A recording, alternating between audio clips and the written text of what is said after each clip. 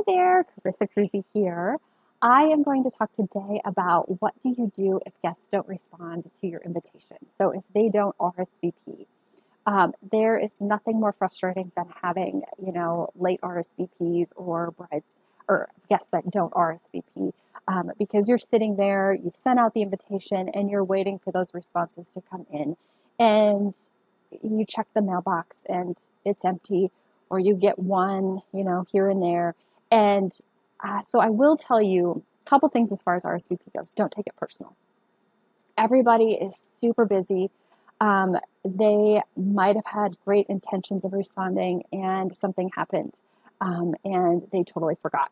So um, I just don't take it personal. It happens to all brides and couples. So uh, everybody seems to run to, into this same issue. Um, I will say that for RSVPs, they seem to be returned better if they're a postcard um, than a RSVP with an envelope.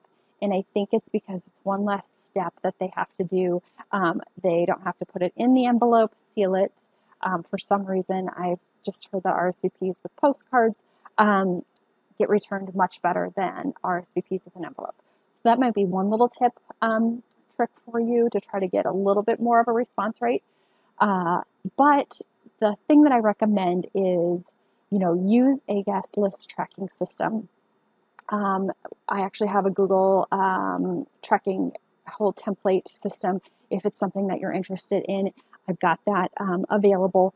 Uh, so it'll actually keep track of, you know, everything from your invites, addresses, who's RSVP'd, how many are still outstanding. Um, you will be able to kind of follow up with them, um, the ones that you haven't heard from easily.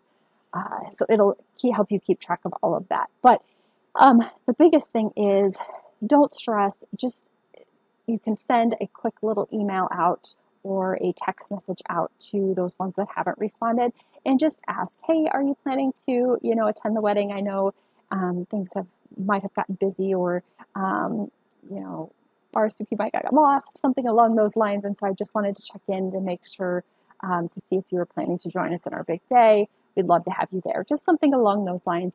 Um, and then you can kind of get a verbal response um, back. But just know that you're probably going to have to do some follow up. Um, so having that guest tracking system and having something all automated in place um, as you start will definitely help you as you kind of end up, uh, you know, finishing out your RSVPs. You'll know kind of what you need for your catering, all of that if you've kind of got all of that in one place. So um, just wanted to kind of, yeah, talk a little bit about what to do when guests don't respond to your invitation.